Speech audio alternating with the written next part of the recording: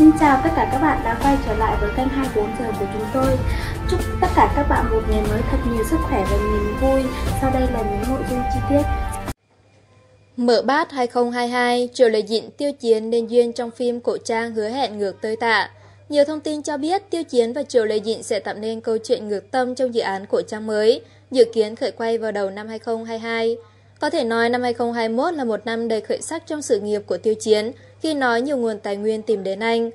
Trong khi bộ phim Dư Sinh xin chỉ giáo nhiều hơn đang chờ ngày ra mắt, thì mới đây trên mạng xã hội xuất hiện nhiều tin đồn về các dự án mà Tiêu Chiến sẽ góp mặt trong thời gian tới.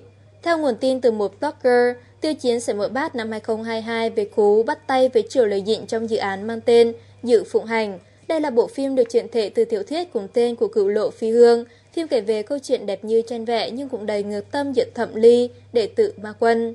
Việc hai định lưu hoa ngự là Tiêu Chiến và Triệu Lê Dịnh nên duyên trong dự án Dự Phụng Hành khiến nhiều khán giả vô cùng hào hức.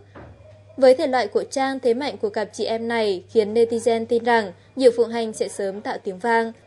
Đầu xuôi đuôi lọt, màn sông đất của Triều Lời Dịnh và Tiêu Chiến sẽ mang đến tín hiệu khởi sắc cho năm mới năm 2022.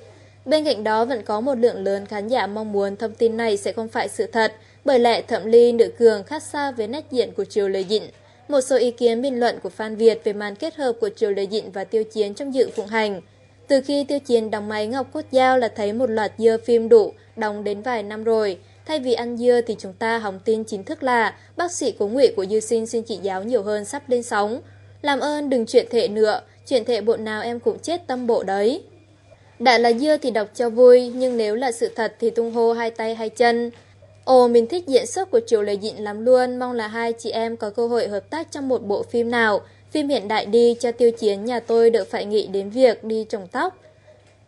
Tác phẩm của cửu lộ phi hương nội dung đều rất hấp dẫn, đã trải nghiệm một tác phẩm truyện thể từ truyện của cửu lộ phi hương khá là thú vị. Tiêu Chiến và Triệu Lê Dịnh quá đẹp đôi, nguyên tắc hay lắm, thích ghê, đọc mấy năm rồi nay ra phim, đã vậy còn Tiêu Chiến Triệu Lê Dịnh, cast đỉnh. Mong là hai nhà Triệu Lê Dịnh và Tiêu Chiến không sâu xé nhau, chỉ mới là dưa thôi.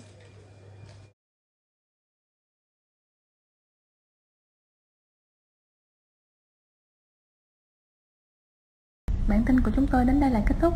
Cảm ơn các bạn đã quan tâm theo dõi. Hẹn gặp lại các bạn ở những tin tiếp theo.